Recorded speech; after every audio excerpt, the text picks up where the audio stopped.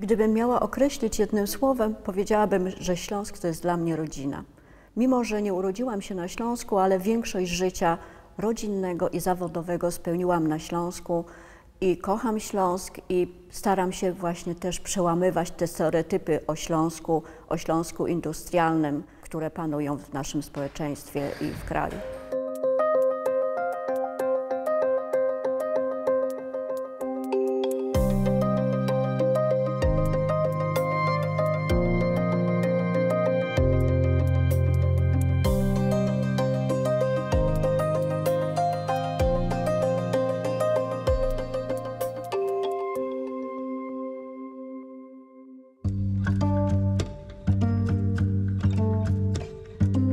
Profesor Ewa Zięba jest badaczką i dydaktyczką w Uniwersytecie Ekonomicznym w Katowicach.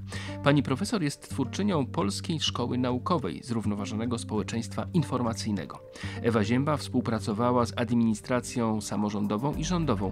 Jej badania wykorzystano do opracowania dokumentów strategicznych województwa śląskiego. Prowadzi badania nad pomiarem zrównoważonego społeczeństwa w kontekście agendy ONZ oraz prace badawcze z uniwersytetami w Wielkiej Brytanii, Niemczech, Słowacji i Portugalii. Została nominowana przez amerykańskie środowisko naukowe na członka European Academy of Science and Arts i wybrana przez Senat tej akademii na jej członka. Dołączyła w ten sposób do grona najwybitniejszych naukowców z całego świata, w tym 30 wybitnych naukowców z Polski i ponad 30 laureatów Nagrody Nobla.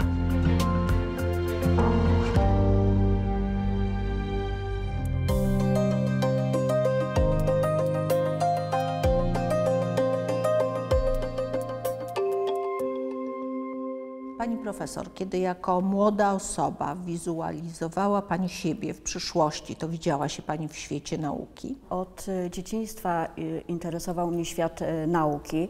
Jako dziecko charakteryzowała mnie ciekawość otaczającego świata i mechanizmów, które nim rządzą. Natomiast na lekcji matematyki w szkole średniej, choć wówczas prowadzonej w postaci wykładu przedstawianego na papierze, zainteresowałam się możliwościami technologii cyfrowej na zmianę i przekształcanie tego otaczającego świata i otaczającej rzeczywistości. I e, wizualizując siebie, myślałam o tym, żeby z jednej strony zgłębiać wiedzę właśnie o tym świecie, o rzeczywistości, która nas otacza, o egzystencji ludzkiej i e, żeby wykorzystać do tego technologie e, informacyjne, ale nie tylko zgłębiać wiedzę, ale też wpływać realnie na ten otaczający e, świat. Były te marzenia od najmłodszych lat. A jak znalazła się Pani w takim realnym świecie nauki? Tym decydującym momentem była chyba e, możliwość uczestniczenia w projektach badawczych już na wstępnym etapie mojej edukacji akademickiej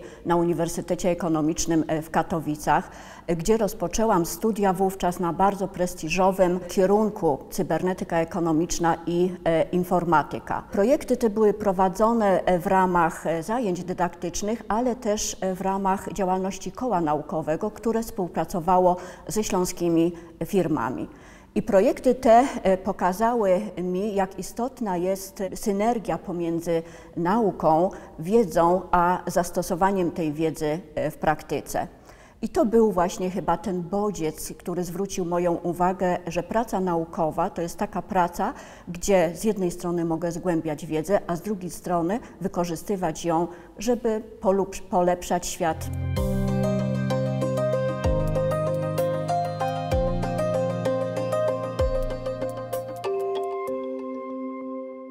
Jest e, obszar rozwoju społeczeństwa informacyjnego i zrównoważonego rozwoju? Brzmi to bardzo naukowo, to czym Pani się zajmuje, ale jakie ma to znaczenie dla takiego zwykłego człowieka? Społeczeństwo informacyjne i zrównoważony rozwój to z jednej strony są dwie odrębne, albo, ale bardzo silnie ze sobą e, związane z teorie, ale z drugiej strony jest to realna rzeczywistość, która nas otacza i której trajektorię możemy kształtować i w rzeczywistości kształtujemy. Społeczeństwo informacyjne y, koncentruje się na y, wpływie wykorzystania technologii informacyjnej na życie y, człowieka. I w praktyce oznacza to właśnie wykorzystanie przez nas technologii cyfrowej w codziennym życiu. od edukacji poprzez pracę, komunikację, robienie zakupów, do korzystania z różnego rodzaju usług, odwiedzania muzeów, y, odwiedzania zabytków i właśnie wykorzystanie technologii zmienia i przeobraziło nasze życie. Społeczeństwo informacyjne jest społeczeństwem, które przeobraziło nasze życie. Natomiast jeżeli chodzi o zrównoważony rozwój, to jest synergia pomiędzy postępem gospodarczym, ochroną środowiska, a sprawiedliwością społeczną, po to, żeby zabezpieczyć realizację potrzeb obecnego pokolenia, ale też przyszłych pokoleń. No i w praktyce są to proste czynności, oszczędzanie chociażby energii, segregowanie śmieci, korzystanie z środków komunikacji e, miejskiej zamiast samochodów, czy oszczędzanie różnego rodzaju zasobów, e, z których korzystamy. A jakie są te takie e, największe aktualne wyzwania e, współczesności i ten stan naukowego dyskursu nad e, społeczeństwem i zrównoważonym rozwojem? To Pani właśnie stworzyła Polską Szkołę zrównoważonego społeczeństwa informacyjnego. Badania wskazują, że społeczeństwo informacyjne to jest dobra strategia rozwoju gospodarczego, postępu gospodarczego i poprawy konkurencyjności poszczególnych regionów, krajów i E, jednostek. Też warto tutaj wspomnieć e, prognozy firmy McKinsey, które e, mówią, iż do 2030 roku w Polsce udział gospodarki cyfrowej w produkcie krajowym brutto będzie wynosił 9%.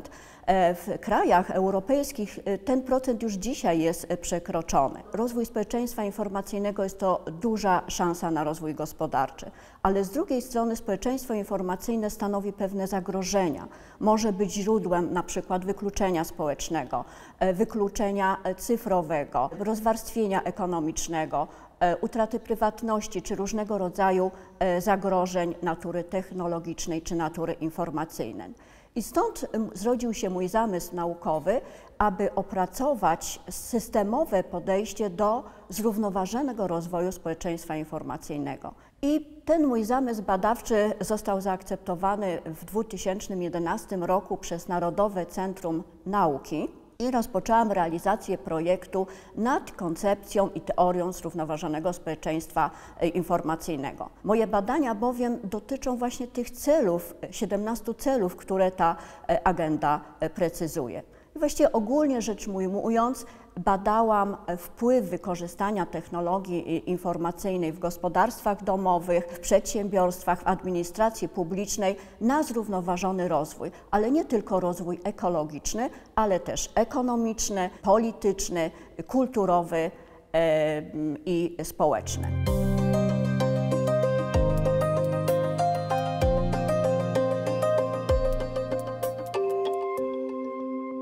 Profesor, rozmawiamy tutaj o nauce światowej, o nauce polskiej, a ja chcę zapytać o naukę śląską. Jaki jest jej poziom, jakie jest jej miejsce?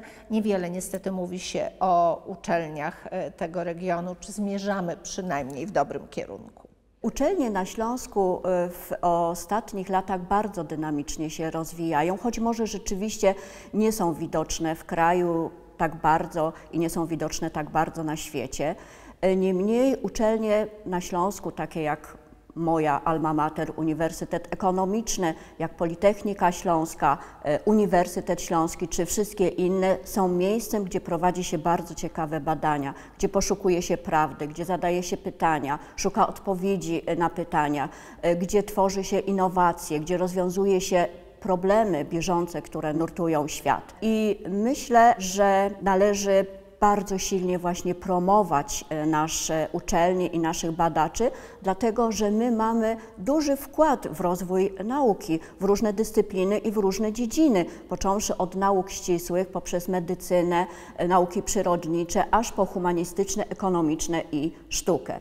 I uczelnie podejmują kroki w tym kierunku, bo trzecią misją uczelni po prowadzeniu badań i edukacji jest właśnie rozwijanie relacji społeczno-gospodarczych. Te relacje umożliwiają nam rozpowszechnianie naszych badań, promocję naszych badań, ale też ich wdrożenie i komercjalizację. Katowice Miasto Nauki, Śląski Festiwal e, Nauki to właśnie chyba taki rodzaj promocji nauki. Czy myśli Pani, że to będzie jakiś e, przełom e, w naszym postrzeganiu e, nauki tutaj na Śląsku? Śląski Festiwal Nauki rzeczywiście jest wspaniałym wydarzeniem naukowym, ale też wydarzeniem regionalnym. Hasłem właśnie jest Katowice miastem nauki. E, Śląski Festiwal Nauki właśnie jest to miejsce, gdzie my, badacze, e, akademicy, prezentujemy swoje osiągnięcia, prezentujemy tym, czym się zajmujemy, natomiast społeczność lokalna ma możliwość poznania naszej pracy i wyników naszej pracy. Jest to miejsce, które stanowi pewien pomost pomiędzy właśnie badaczami, pomiędzy światem akademickim a społecznością lokalną. Jest to miejsce edukacji oraz inspiracji dla społeczności lokalnej. Na pewno e, duża rola tutaj jest władz lokalnych i regionalnych, bo e, musi być stworzony wizerunek Katowic i Śląska jako centrum akademickie i centrum technologiczne. I są już takie e, rzeczywiście prowadzone projekty. Jest realizowany w tej chwili katowicki hub gamingowo technologiczny, który ma szansę ściągnąć tutaj znamienite firmy zajmujące się e, z różnych branż, które zajmują się sportem. Niemniej e, takich projektów powinno być więcej, właśnie technologicznych, innowacyjnych, żeby z Katowic stworzyć pewien magnes, czy ze Śląska stworzyć magnes, który przyciągnie badaczy, który przyciągnie innowatorów, kreatorów, producentów nowoczesnych technologii i innowacji, stwarzając jednocześnie miejsca pracy tak, dla badaczy, dla ludzi, miejsca pracy atrakcyjnie zarówno zawodowo, jak i finansowo. Śląska Nagroda Naukowa przyznawana jest e, badaczom, twórcom szczególnym dla tego regionu, wybitnym e, tutaj e, w Polsce, ale także na arenie międzynarodowej. Pani w tym roku uhonorowana została właśnie taką statuetką. Czy jest ona dla Pani ważna, bo przecież tych nagród ma Pani bardzo wiele? Rzeczywiście e, mam e, nagrody różnego e, rodzaju, przyznane zarówno w środowisku krajowym, jak i międzynarodowym. Niemniej Śląska Nagroda Naukowa była dla mnie bardzo dużym wyróżnieniem, dlatego że jest to wyróżnienie tutaj w regionie, gdzie uczyłam się i gdzie pracuję, gdzie spędzam swoje życie rodzinne i swoje życie zawodowe. Jestem bardzo zadowolona z tej nagrody. Jest to dla mnie uhonorowanie mojej pracy, ale nie tylko mojej, bo i całego zespołu, z którym współpracuję, e, dlatego że przecież e, dzisiaj musimy współpracować w zespole, żeby osiągać sukcesy. Trudno jest osiągnąć sukcesy indywidualnie, ale jednocześnie ta nagroda jest też wielkim wyzwaniem dla mnie, żeby jeszcze więcej pracować, żeby odnosić dalsze sukcesy naukowe. A członkostwo w Europejskiej Akademii Nauki i Sztuki to jedna z najbardziej prestiżowych organizacji naukowych i artystycznych w Europie. Pani dołączyła w 2021 roku do tego szacownego grona, tam nobliści, wybitni e, badacze, naukowcy. Tak, rzeczywiście y, y, mam to szczęście być y, członkiem Europejskiej Akademii Nauki i Sztuki. Otrzymałam nominację ze środowiska akademickiego amerykańskiego do tej nagrody. Potem przeszłam, to jest taka wieloetapowa ocena i przyjęto mnie do grona znamienitych właśnie naukowców. Jest to dla mnie bardzo duży zaszczyt, ale jednocześnie duże możliwości współpracy ze znamienitymi naukowcami z Europy i ze świata i zajmowania się e, ciekawymi e, problemami społecznymi i gospodarczymi, e, dlatego że Europejska Akademia Nauki jest skoncentrowana na poszukiwaniu i rozwiązywaniu problemów, które nurtują świat i Europę.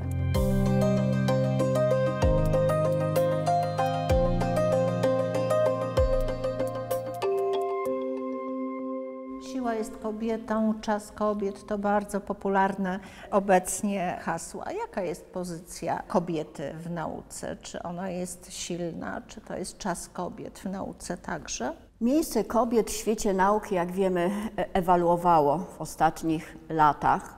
Historycznie kobiety miały bardzo utrudniony dostęp do edukacji i do nauki. Warto tutaj nawet wspomnieć perypetie z Nagrodą Nobla, pierwszą Nagrodą Nobla dla naszej sławnej Marii Curie Skłodowskiej.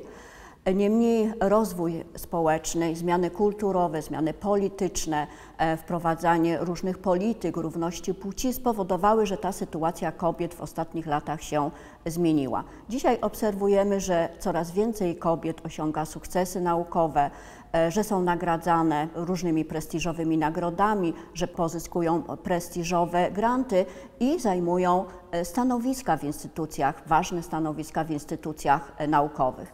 Niemniej na pewno jeszcze jest wiele do zrobienia w tej kwestii, jest wiele wyzwań przed nami, bo niejednokrotnie słyszymy o na przykład dyskryminacji kobiet w pewnych środowiskach, o utrudnieniu dostępu do zasobów, właśnie o dyskryminacji, jeżeli chodzi o zajmowanie stanowisk, czy o mniejszą reprezentację kobiet w niektórych dziedzinach nauki. A jaką cenę płaci kobieta za karierę naukową z Pani perspektywy? Warto było?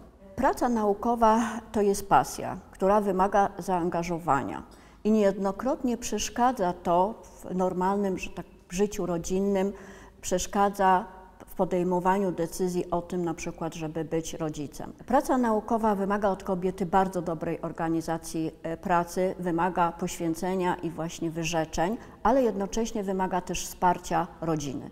I niektóre kobiety po prostu rezygnują z tego życia rodzinnego, oddalają, odkładają macierzyństwo, rezygnują z macierzyństwa, ponoszą właśnie wysoką cenę tego życia prywatnego po to, żeby realizować się naukowo. Ja mam wielką satysfakcję i wewnętrzną radość, że udało mi się uzyskać harmonię pomiędzy życiem rodzinnym a pasją naukową. Mam dwóch wspaniałych synów, Adama i Szymona, w wychowanie których poświęciłam bardzo dużo czasu, cierpliwości i miłości, ale oczywiście nie byłoby to możliwe bez mojego męża, który cały czas mnie wspierał i pomagał mi, był moją ostoją. Oczywiście nie mogę tu nie wspomnieć też o mojej kochanej mamie, która zawsze śpieszyła pomocą i gasiła pożary, jeżeli było trzeba. No i oczywiście też moje siostry też pomagały mi, y, kiedy tylko miałam takie e, życzenie. Ta nasza wspólna droga przez to życie naukowe i życie rodzinne nauczyła mnie,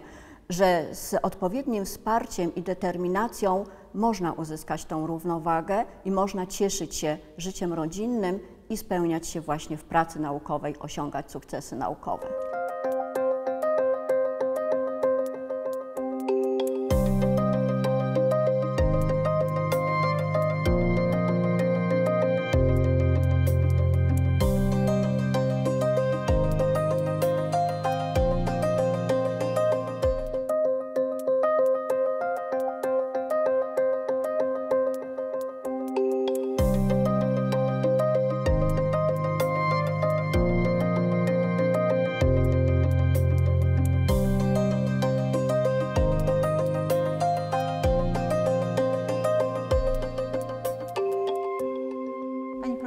Jakie wyzwania przed Panią jeszcze y, stoją? Te e, naukowe, prywatne? Wiem, że chodzi Pani po górach.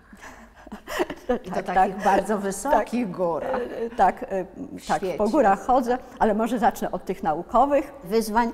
E, więc w tej chwili jestem zaangażowana w bardzo ciekawy, interdyscyplinarny, e, międzynarodowy projekt finansowany z Unii Europejskiej, którego celem jest opracowanie cyfrowej platformy dla inteligentnego łańcucha wartości miodu. Jest to tematyka, która ściśle się wpisuje w zrównoważony rozwój, a w szczególności właśnie w zrównoważone społeczeństwo informacyjne. Niemniej jest ona dla mnie w pewnym sensie nowa, niezbadana przeze mnie, bo nigdy nie zajmowałam się miodem ani łańcuchem wartości miodu. A więc mam tutaj szansę zadawania pytań, szukania odpowiedzi, rozwiązywania różnych problemów. I mam nadzieję, że uzyskane przez nas y, wyniki badań będą bardzo ciekawe, interesujące i przyczynią się do zrównoważenia. A te marzenia prywatne? Moim marzeniem jest cieszenie się każdą chwilą spędzoną wspólnie z rodziną. W planach e, mam e, fascynujące podróże z moim mężem i, z moimi e, synami a podczas tych podróży oddaję się pasji fotografowania, bo to jest moja kolejna pasja, którą mam w życiu. Uwielbiam od y, lat dziecięcych fotografować otaczającą e, rzeczywistość, e, przyrodę, góry, o których pani redaktor e, wspominała i najdziksze zakamarki, których bardzo dużo również mamy na Śląsku i w Katowicach.